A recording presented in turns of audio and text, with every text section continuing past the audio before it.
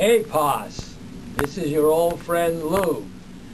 I just want to uh, congratulate you on your honoring, on the Hellenic Endocrine Society honoring you for a lifetime achievement in medicine.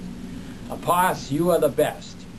I can remember when you first came to Boston with Lena in the 1960s as a young, handsome, non-gray, uh, early scientists and how we collaborated and worked together until you returned to Greece in 1980.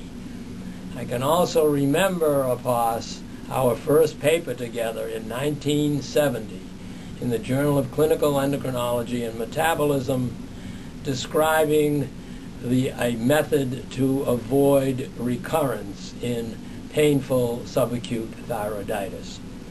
Uh, Mimi and I can also remember you and Lena so well, and, and also at the time of the birth of young George.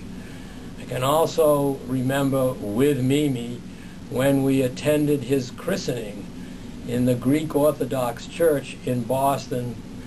Poor George was dipped into ice water, stopped breathing, turned blue, and you fainted.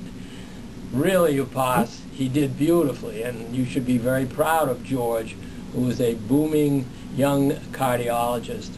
And also, Upas, we remember with fondness uh, Auntie, who was part of your family and mine. So Mimi and I wish you, Lena, George, and Auntie many more healthy, prosperous years. And again, congratulations for all of your outstanding accomplishments.